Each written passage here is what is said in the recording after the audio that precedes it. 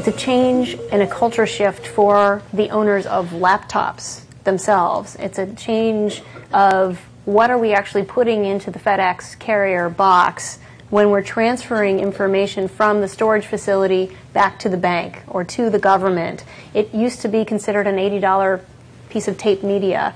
Now it's a potential $100 million hit to liability. So the procedures for someone who knows that they're holding on to basically a bag of cash, Right. it's, and I think that's where we're going to start to see improvement. It's, it is funding from the top. It's looking at this in a SOX-like liability way, but it's also getting all the way down to the owners who are actually touching portable media, touching data themselves, and thinking about it in a whole new way.